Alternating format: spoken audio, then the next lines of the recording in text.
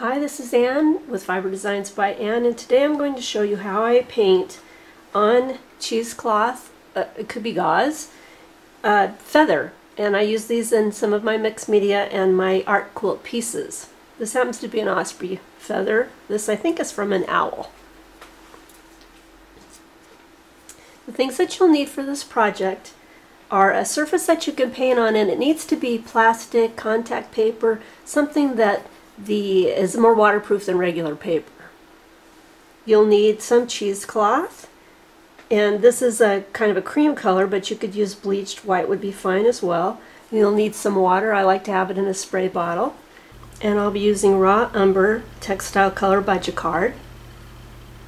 You'll need a little container for mixing the paint, something to scoop the paint out with.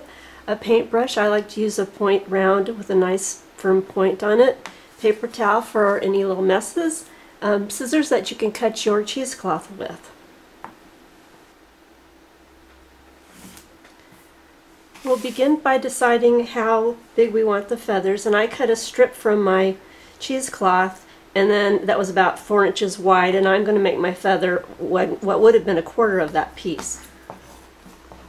You're going to take your scissors and cut a little bit exaggerated feather shape, a little bit larger than you want your feather to be in the end.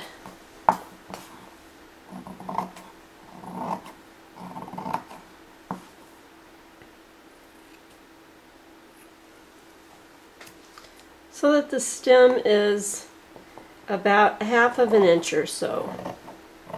The stem, which would be the quill.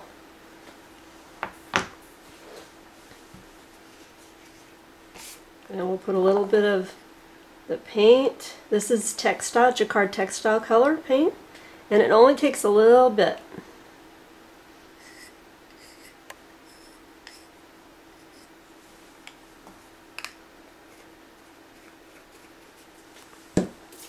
I put a little paint, little water other near the paint.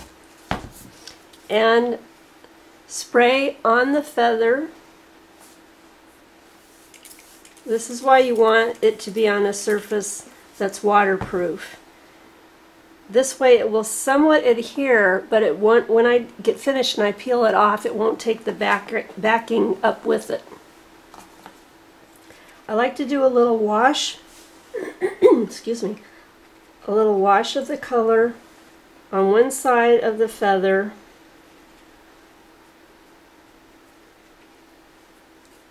This is a new brush and it's firmer than I'm used to, so I'm going to grab my other brush really quick. That's a little softer. And I'm just doing a wash on one side of the cheesecloth because I like it kind of gives a piece a little more depth that looks like that might be light shining on one side and it doesn't, you don't have to do this. And if your piece is white, you may want to give it a little wash on, on the entire piece. Then I'm going to take the color Pretty Full Strength up, let me slide this down a little, near the top. And you can look at look at your feather or look at a picture for a little example. And this is a fiber, it doesn't have to be perfect. And I'm giving it, it can go almost straight across with the color from the center line out because when I get finished and it's dry, I'm going to, or before it dries, I'm going to give it a pull, a tug, that will create the little waves that you have going on here in the real feather. I make the paint heavier toward the center and bring it out. And you could take and draw a line if you don't intend to sew this. I will be sewing on mine, giving stitches to make the design. So I do not usually put a line down the center of the piece. And it's just that very simple. Just from the center out. Then when you have it the way you like the lines and the design, I hold one end of the feather and I give it a tug. And things will happen depending on your surface. And you can bend it to create the lines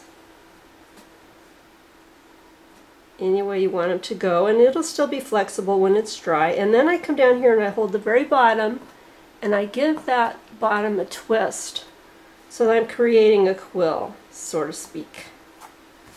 Now I'm going to let this totally dry on the surface and when it does it may stick to it but again because it's a plasticky surface I'll be able to peel it off. So I'll let that dry and then we'll come back. Okay, I'm back and it's pretty much dry. And I'll peel it off. Depending on how dry it is, it might be a little harder to peel off.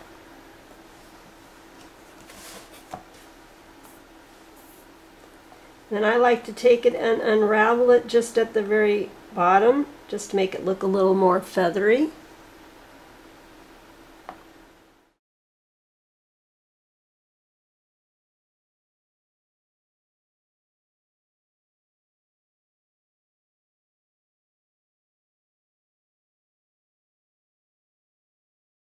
So now you can see how easy and quick it is to make these little cheesecloth feathers. And here are a couple pieces that I've included them in. One is an art quilt, the other is a photo and fiber mixed media art quilt. I hope you'll try this technique. This is Ann. Thanks for watching.